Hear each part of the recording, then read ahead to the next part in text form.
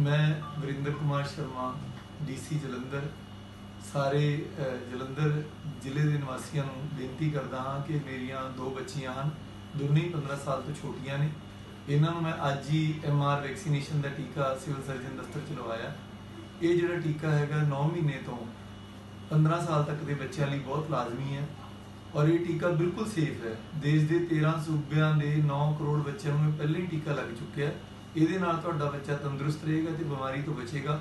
ਕਿਸੇ ਤਰ੍ਹਾਂ ਦੀ ਅਫਵਾਹ 'ਚ ਨਾ ਆਓ। ਜੋ ਵੀ WhatsApp ਤੇ ਅਫਵਾਹਾਂ ਚੱਲ ਰਹੀਆਂ ਨੇ, ਸਾਰੀਆਂ ਝੂਠੀਆਂ ਨੇ। ਵੈਕਸੀਨੇਸ਼ਨ ਬਿਲਕੁਲ ਸੇਫ ਹੈ। ਆਪਣੇ ਬੱਚਿਆਂ ਦੇ ਸਕੂਲ ਦੇ ਵਿੱਚ ਹਸਪੀਟਲ ਦੇ ਵਿੱਚ ਜਾ ਕੇ ਇਹਨੂੰ ਲਗਵਾਓ। ਔਰ ਤੁਸੀਂ ਦੇਖ ਸਕਦੇ ਹੋ ਕਿ ਦੋਨੇ ਬੱਚੇ ਦੋਨੇ ਪਾਸੇ ਮੇਰੇ ਬੜੀ ਖੁਸ਼ੀ ਨਾਲ ਬੈਠੇ ਨੇ।